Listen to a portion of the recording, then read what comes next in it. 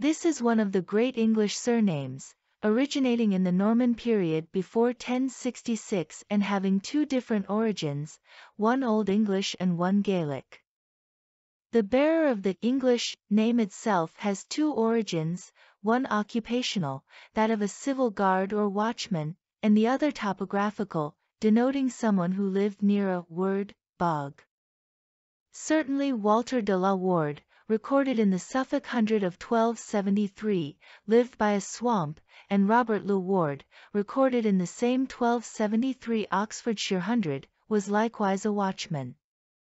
The original coat of arms was created by Sir John Ward of Surrey at the Siege of Calais in 1345.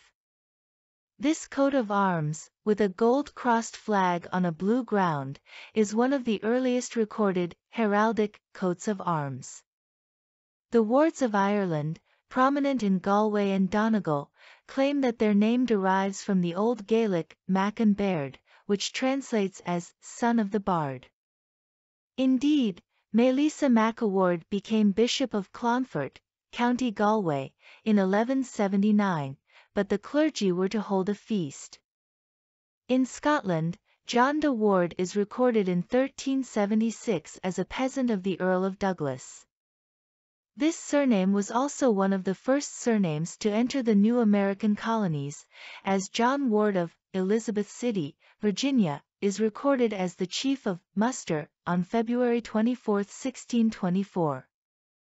The first recorded spelling of the family name is that of William de la Warda in the Pipe Roll of Leicestershire of 1176, during the reign of Henry XI, 1154 to 1189, known as the Church Builder. It was not until the government introduced personal taxation that surnames became necessary. In England, this was known as the poll tax.